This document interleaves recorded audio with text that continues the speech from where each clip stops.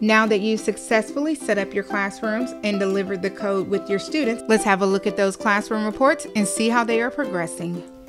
Let's first make sure that we are in classrooms and we navigate to Reports tab.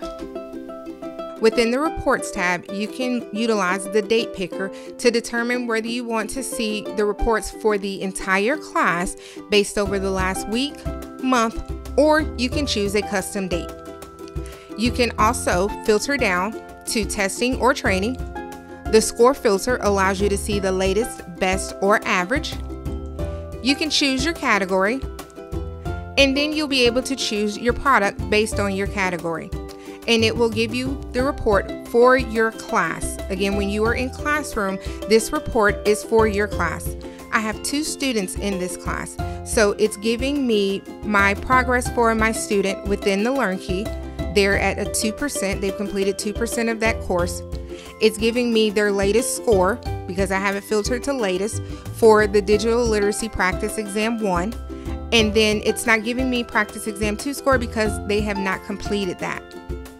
These reports are available for export as well as print. And then I'll show you, it does give me the skill, the skill tree for my class for the GS6 Digital Literacy Level 1. For the class, they have att- they have a 13% proficiency with 53 questions attempted.